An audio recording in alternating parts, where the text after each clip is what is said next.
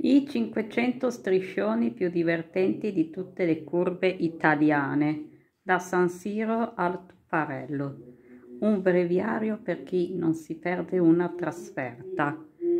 Un bignamino per chi vuole ripassare la storia del campionato più bello del mondo negli ultimi vent'anni o per chi non sa niente di calcio un affresco di storia, politica, costume e malcostume, musica, cinema, tradizioni, scritto e cantato dal genio ironico e dissacrante del dodicesimo uomo in campo.